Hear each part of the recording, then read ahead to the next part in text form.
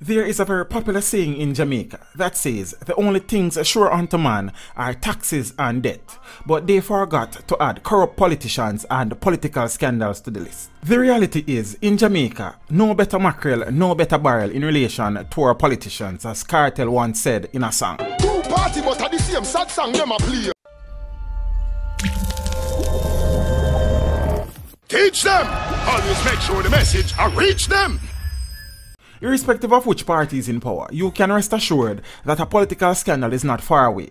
And while in opposition, that party is always quick to gain political mileage from these inevitable occurrences and promise to be a beacon of change when they win the next election. However, they being politicians and seemingly unable to help themselves, they fall in the same corruption they once lambasted their rivals for.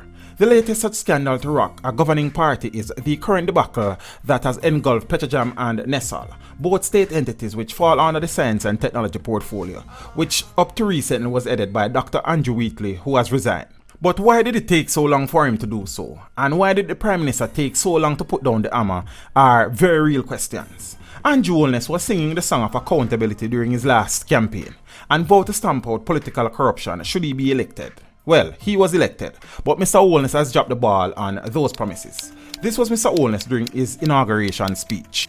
I will ensure that government is coordinated and strategically directed, that decisions are taken quickly, that targets are set and met, and that the nation is informed, and that everyone under my appointment is held to account for their actions or lack thereof. And I always say that corruption is the flip side of efficiency. Corruption will not be tolerated in this government. No, when the Petrojam nightmare started to unravel, his tone and stance suddenly changed. The responsibility of the cabinet is to develop policy and report to Parliament on policy. Uh, and I thought important today to report to the Parliament on the fact-finding process that we have engaged. And we, we asked some specific questions there we have gotten some answers. Those answers include issues that you have raised in terms of the viability of Petrojam and some decisions that need to be made. As I've said, we are now documenting our decisions, and in short order, we will be saying to the public what it is that we will be doing, not just to address the shortcomings and weaknesses and the allegations of corruption, but what is necessary to ensure the viability of Petrojam. Mr. Holness himself, back in 2013, during a scandal involving Phillip Paulwell, had this to say. We don't feel comfortable sitting in Parliament with a Minister of Government and that Minister shows no sign of wanting to resign or the Prime Minister showing no signs of moving to dismiss the Minister.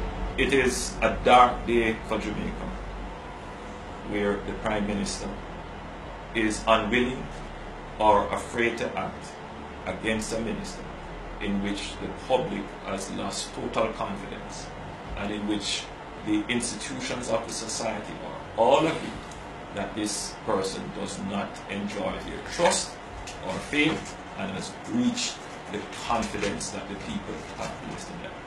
I believe that this has the potential, if it continues, to bring down the entire government. So was Mr. Holness now comfortable in sitting in the same parliament with a minister involved in a corruption scandal and uh, not showing any signs of resigning? Instead of grabbing the bull by the horn, Mr. Holness opted to remind Paulwell of his missteps. Member from Central Kingston and East Kingston and Port Royal said I call for his resignation. Mr. Speaker, as leader of the opposition at the time, a major energy project went awry. Major. It wasn't just limited to energy. This was the electricity sector, the private sector company. Made, hold on, hold on, hold on, hold on. Clear breaches of procurement guidelines. Hold on, man. Now, Mr. Speaker, the Prime Minister at the time did not relieve the minister of his portfolio. I just want to remind you of that. But yet, the minister maintained his title, maintained his staff, his office. So sometimes when we speak and I read some of the hypocrisy written in the papers, I just sit back and say, we have short memories. As the drama at Petrojam and Nesol deepened, the Prime Minister went to Parliament and did what politicians do sweet talk. The situation that exists now is that we are in the process of discovering information so that we can take action. And I want to give the commitment that once we have discovered anything that suggests any form of corruption, the appropriate action will be taken. In the face of mounting pressure, Mr. Holness then resorted to the old political tit-for-tat game. What I have heard is this talk that there is ministerial overreach and association. Now, if association is the case, Mr. Speaker, many of you over here, including you, yes, yes, yes. including you, member, could have been accused of having persons hired to entity, entities which were, which were related to you. I don't, we don't know that. That was never questioned. We never made an issue of it. We never go out and made an issue of that. And I am saying to you that mere association is not enough to convict and disqualify. I have to have more. Because if that were the case, you could have been convicted to member. Then more sweet talk and promises. The Cabinet of Jamaica hears and understands the concerns expressed in the public domain. The government is sensitive to the impact that allegations of corruption have on public confidence, as well as on the value, effectiveness, and efficiency of Petrojam as a public entity. The government appreciates that in this age of social media and unfiltered information, the public needs to be constantly informed and assured of accurate information. The government is therefore even more constrained to ensure that it does its due diligence. The Cabinet Office is therefore now in the process of finalizing the documentation of the decisions that we have taken. And in short order, and in short order, very short order, I will inform the country of the specific actions that will be taken by the cabinet. Instead of firing Wheatley, the Prime Minister took away the science aspect of the portfolio but left the Minister with the technology aspect.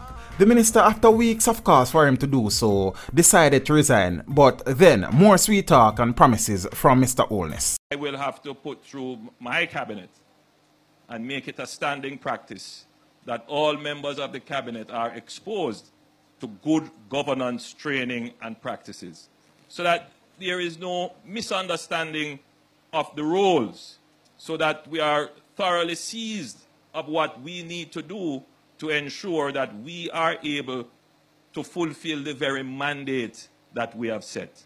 This business of good governance and anti-corruption is a serious matter. It is a wave sweeping across the world, and it is a wave that has swept out governments. I do not intend it to affect our government. Our government must be strong. Our government must stand visibly and demonstrably in support of transparency, of good governance, with a firm stance against corruption. Better late than never, some will say, but the Prime Minister missed a grand opportunity to be decisive, or even pretend to appear that he was serious about fighting corruption. This video was made possible through the continued generosity of my patrons. To become a patron, follow the link in the description below.